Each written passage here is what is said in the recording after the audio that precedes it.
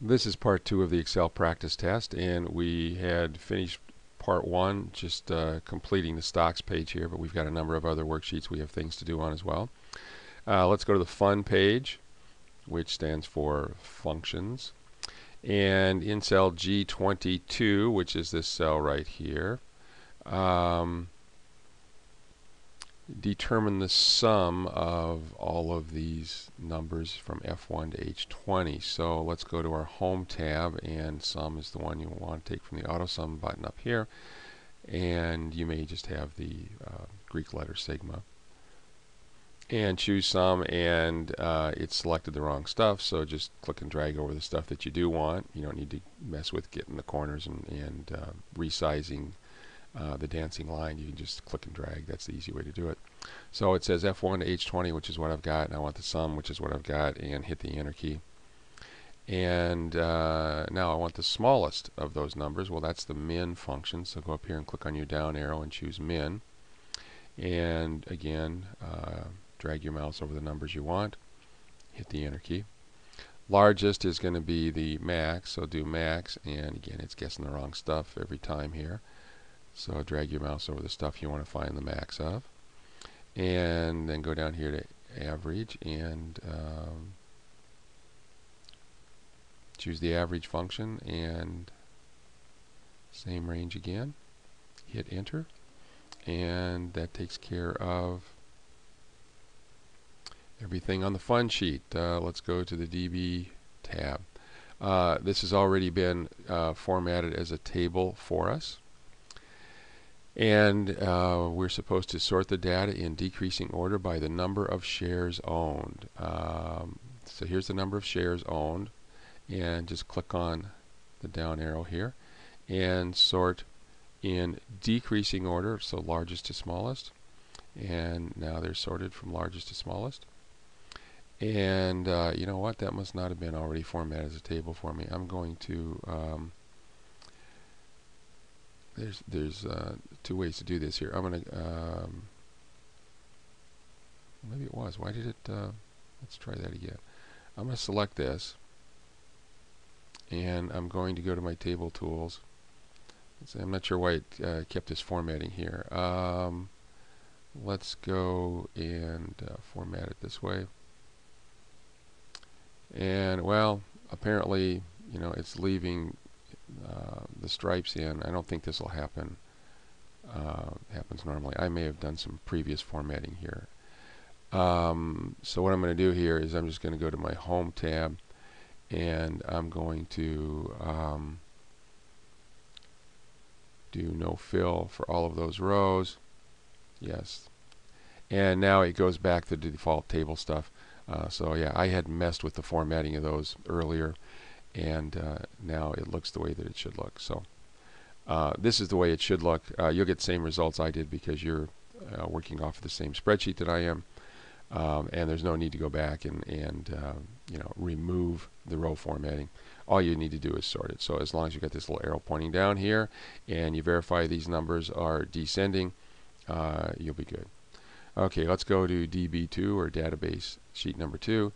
And um, I'm going to cheat here on this one. This is probably just a copy of the other worksheet. And so what I'm going to do is I'm going to go to um, this and choose no fill again. Now it doesn't look like anything changed, but I think when I do my um, filtering here, um, actually that probably won't happen either because filtering just collapses some of the data. But we'll see if we get the alternating uh, colors on the rows or not.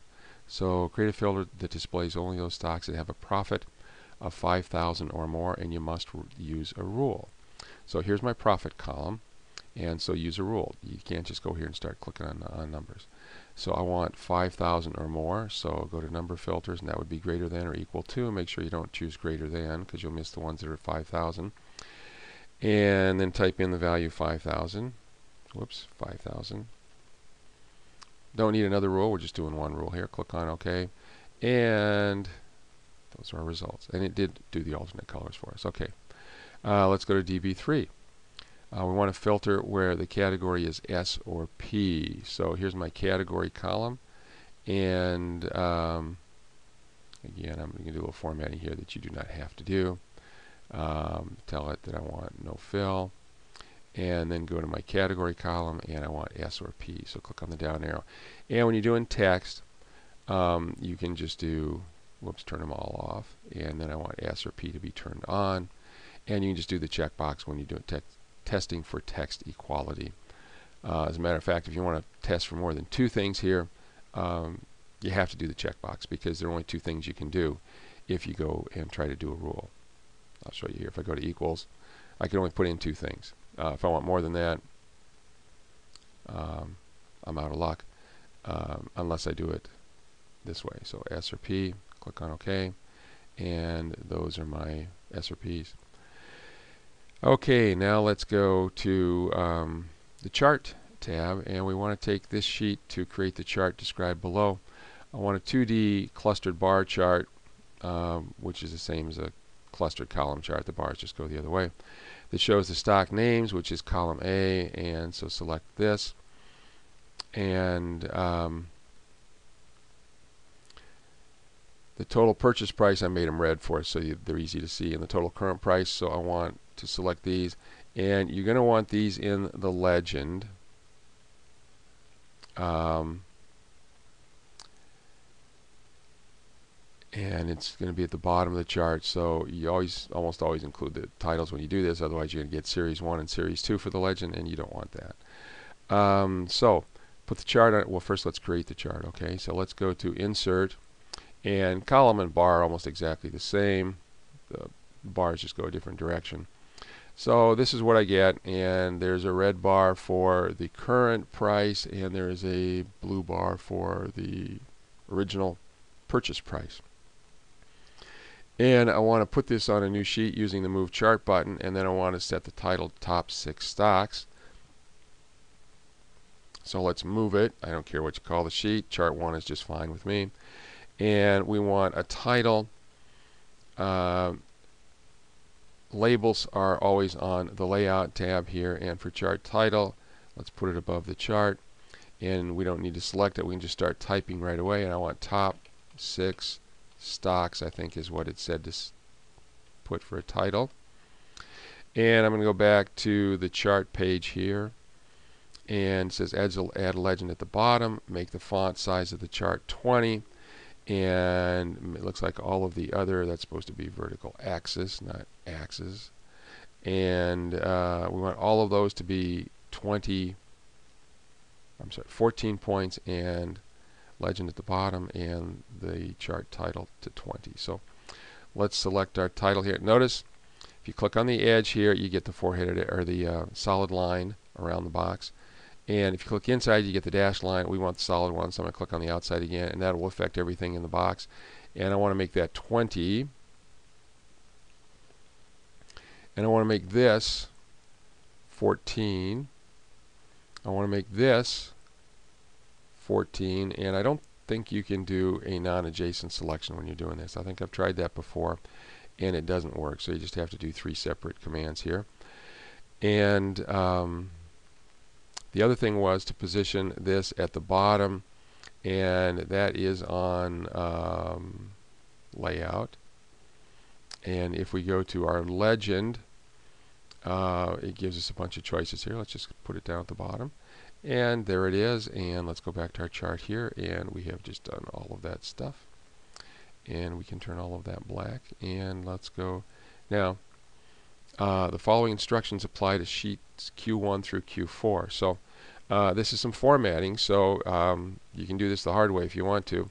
Uh, but the easy way is to select all the sh um, sheets at once. So do a sh uh, shift click on the last one here, or you can do control click on all four of them. And format B7 to H7 with a dollar sign and zero decimal places. So B7 to H7 with a dollar sign and uh, zero decimal places make all of the text in A3 to H3 bold. So A3 to H3 is going to be um, bold. Right align B3 to H3. Omit column A. Okay, so right align those so they're lined up over the numbers better. and in B7 to H7 add a top and double bottom border um, which you can do from the borders here and uh, let me see um, top and double is here uh, another easy way to get that also is that's the total style here although the total style may change the font for you a little bit now the neat thing about what I just did is that um, all four of my worksheets are formatted exactly the same way now Okay, so we've done all four of those. Notice there aren't any, aren't any other instructions on Q2 or Q3 or Q4. So let's go to the last sheet here, which is summary. And it says enter formulas in B4 to H4, which will compute the totals in each expense category for all four quarters. I want to get the numbers from row 7. So let's go here. And it's a formula, so start it with an equal sign. And um, I want the totals from row 7. So uh, I want supplies for quarter 1. So click on it and do a plus. So it should say Q1 B7 with an exclamation mark in between. And then click on the second one here. So I'm working on the total for supplies and then do another plus and then go to Q3 and get the supplies total for that one and then do a plus and go to Q4 and get the supplies total for that one. And do not go back and click on summary. That'll mess up your formula. We're done with the formula now, so hit the enter key. And then it will take you back, and that is the sum of all of those numbers. Now, when I copy it to column to the right here, I want the B's to change to C's, and then to D's and E's and F's and so on. And so that means that um, if I just copy this over, I used relative, there's no dollar signs in here, these are relative cell references. So if I click on this and get my fill handle and drag it all the way across, I should get the right number. So let's look at advertising here. And it's Q1 H7, Q2 H7, Q3 H7, Q4 H7. And um, if I double click on it, and let's see if I can go back here, and uh, it does not show the boxes if they're on another page for us. But uh, this is 3,000, uh, 3,000, 3,000, so I'm up to a little over 9,000, and another 3,000 would be uh, 12,000 and then some change here because I wasn't adding up the 100. So um, everything is working and that appears to be the end of the practice test. Um, I didn't put a goal seek question on here, but there will be a goal seek question on the actual test, so make sure you're familiar with that. And that's the end of this video.